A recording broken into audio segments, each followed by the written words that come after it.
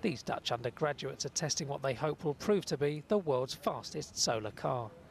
Their Nuna 6 model is taking part in October's biannual World Solar Challenge, a grueling 3,000 kilometre race from one end of Australia to the other.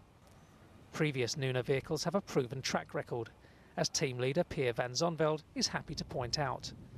The car you can see next to me is the Nuna 6 and uh, we already made five Nunas and with these we participated in the biannual solar race in Australia and uh, we won four out of five. The students have gone to great lengths to give themselves every competitive advantage.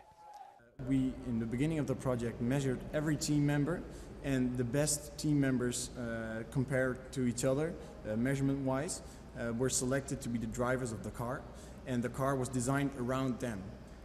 So, for instance, uh, the width of the hips are very important for the design of the car and that's what we mainly selected on.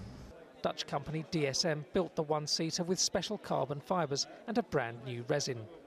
DSM Chief Innovation Officer Rob van Leen. With a unique combination of our terrain resin and special carbon fibers, we were able to increase the rigidity with 25%. And therefore this new Nuna 6 has 10% less drag than its predecessors.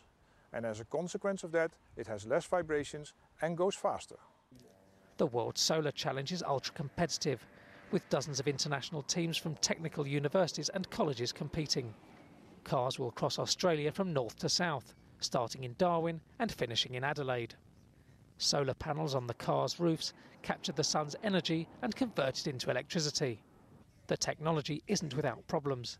The cars can't store enough power to travel more than short distances when not in direct sunlight. But with each year, the solar power systems are improving. And as the race nears, the Nuna 6 team say they're preparing for victory and yet another day in the sun. Jim Drury, Reuters.